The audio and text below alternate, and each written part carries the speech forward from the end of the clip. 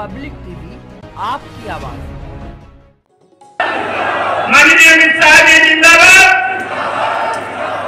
अब की बार अब की बार फिर एक बार फिर एक बार अब की बार स्वागत है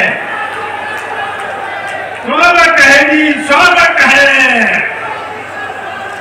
भारत माता की अब की बार अब की बार, फिर एक बार, फिर एक बार, फिर एक बार अब की बार अब की बार जोरदार के द्वारा स्वागत और अभिनंदन माननीय भारत सरकार के यशस्वी गृह मंत्री परम श्रद्धेय श्री अमित शाह जी का मुट्ठी बंद करके बोलिए, भारत माता की भारत माता की भारत माता की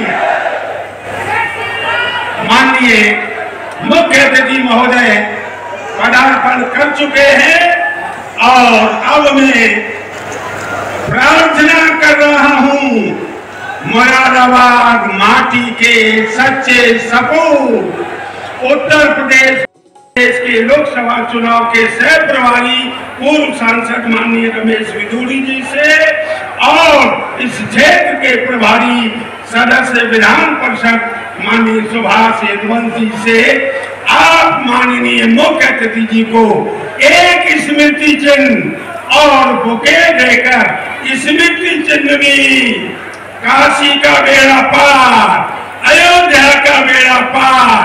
अब मथुरा की बारी है, भगवान श्री कृष्ण की प्रतिमा भेंट की गई माननीय मुख्य अतिथि जी को। और अब मैं भारतीय जनता पार्टी, भाइयों बहनों पिछले दस वर्षों में माननीय प्रधानमंत्री जी के नेतृत्व में हमारे मैं इस पीतल नगरी में रामगंगा और प्राचीन सिद्धपीठ काली माता को प्रणाम कर कर मेरी बात की शुरुआत करना चाहता हूँ। देखो मोदी जी ने 10 साल में देश की अर्थव्यवस्था को 11वें नंबर पर से पाँचवें नंबर पर लाया। अब आप तीसरी बार प्रधानमंत्री बना दो। मोदी गारंटी है कि इस बार तीसरे नंबर की अर्थव्यवस्था नरेंद्र मोदी कभी हमारा मज़ाक उड़ाते थे, ए राहुल बाबा कि मंदिर वही बनाएँगे, तिथि नहीं बताएँगे। उड़ाते थे ना मज़ाक? मैंने बहुत मज़ाक सन किया है, चौदह से उन्नीस। उन्नीस में मोदी जी ने आपको प्रधानमंत्री बनाया। पाँच ही साल में कोर्ट का जजमेंट भी आ गया। अयोध्या में भूमि पूजन भी हो गया। और 22 जनवरी को रामलल्ला का प्राण प्रतिष्ठा भी